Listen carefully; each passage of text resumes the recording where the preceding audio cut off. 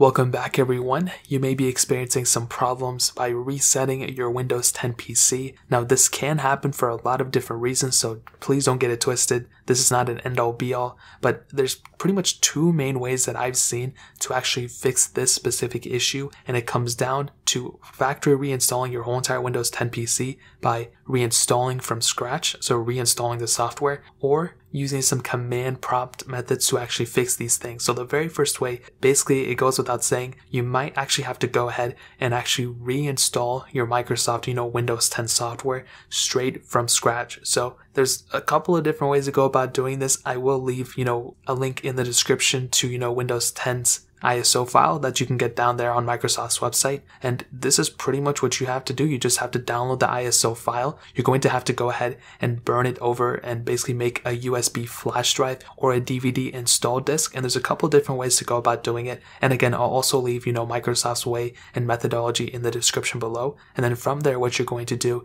is basically boot your Windows 10 PC from the USB flash drive or the DVD. And then from there, you would go ahead and reinstall that software straight from the USB USB drive or that DVD. So it's not a super hard process. I've done this before, I think with Linux or Mac OS. I honestly don't remember. I've done it with Mac OS a couple times, and trust me, if I can do it, pretty much anyone else can do it. You may run into some other problems in this case too, but typically it's a smooth sailing ship. You'll pretty much get it done for no time. So that's pretty much the main way to fix it is just to reinstall that software from scratch. Now, if that doesn't work, there is another, there's actually a couple different methods that you can do of actually going through your command prompt and doing it. And I found this specific way through Reddit, and it seems to be the best way that people are saying it. So, what you want to do is you want to go to your settings app within Windows 10. You want to click Update and Security. You want to click Recovery. You want to click Advanced Startup, and then you want to click Restart Now. Now, a little window is going to come up, and in that window, you want to click Troubleshoot. Then you want to click Advanced Options. Then you want to click Command Prompt.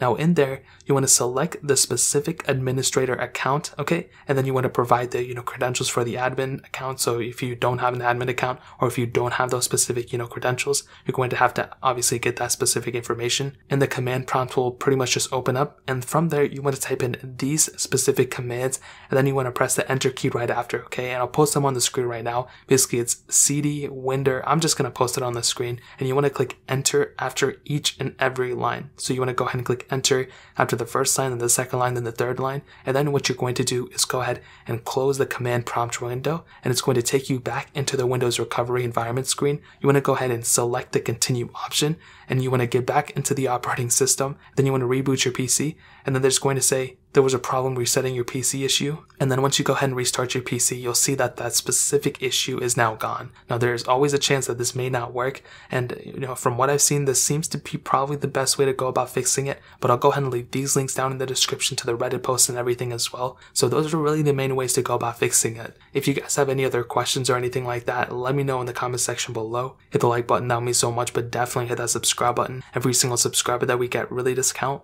So it means so much if you guys can hit that. Also check out the other links down in the description as well. My Twitter, my Instagram, my other channels. More importantly than everything else, I love every single one of you guys. Hopefully I'll catch you guys in the next video. Peace out till then.